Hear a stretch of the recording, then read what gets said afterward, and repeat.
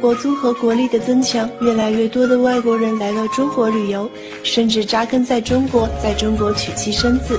比如广州就生活着数十万黑人，但是你知道吗？我国上海也定居着十万日本人，而且都是女性。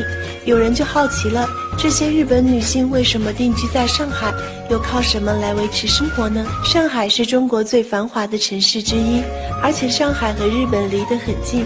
所以日本人来中国的首选城市就是上海。日本女人是相当贤惠的，结婚后往往会辞职在家，专心照顾老公和孩子，过上家庭主妇的生活。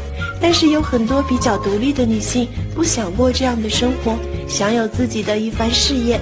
在日本传统观念里很难获得自由，她们就来到上海打拼，怎么舒服怎么来，活得很自在。那么他们靠什么生活呢？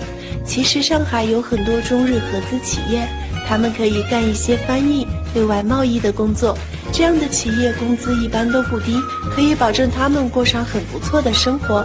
好了，本期内容就到这里，感谢您的观看，我们下期再见，拜拜。